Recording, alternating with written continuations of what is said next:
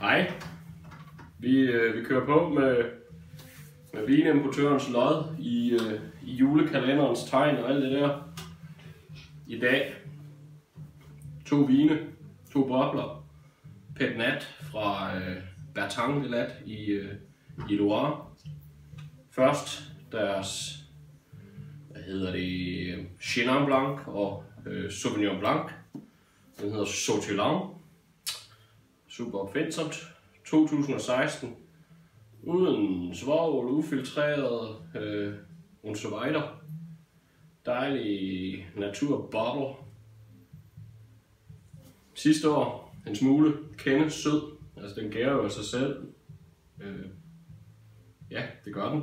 Det begynder at gære. Smider de det på flaske, og så gærer det færdigt der. Og om det så lige gærer 100% ud, det ved man ikke. Det har det gjort. I hvert fald i 2016. Sindssygt skarp. Uden at det er nogen kritik. Det er sindssygt skarp og lækker. Frisk næse. Høg græs. At det er primært, det er primært Sauvignon Blanc, der skinner igennem næse på næsen. Altså, det er, det er super sådan øh, friskt, og det der hø og græs, som virkelig sådan øh, brænder igennem. Lidt jordbund, lidt kalk, umiddelbart. Det drømmer jeg i hvert fald om. Det, det dufter det af.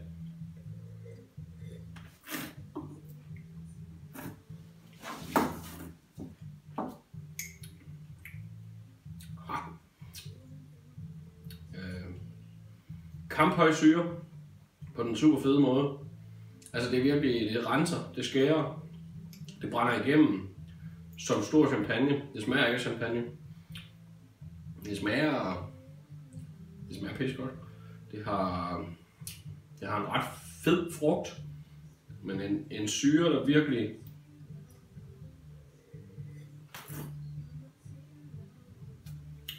er helt kanon.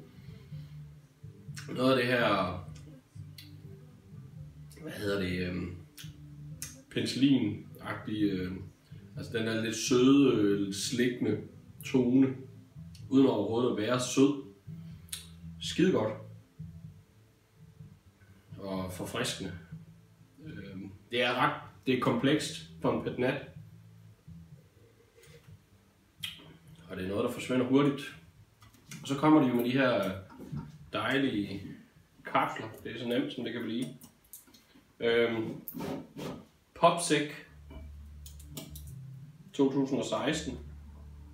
Ren Chenin.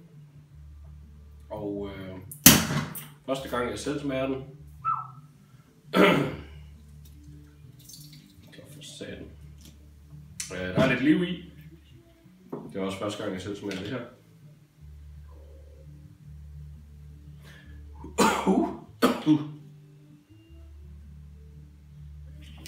Den er også tør, det dufter det i hvert fald som værende.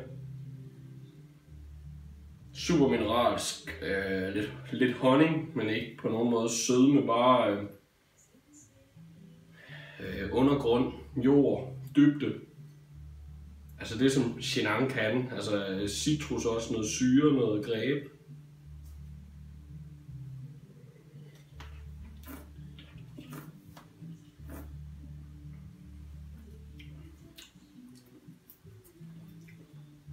federe frugt. Så for sig, nu sker der noget igen. Den er vild. Den er levende. Ja. Øh, humor. Øh, jeg tager lige lidt mere. For fan.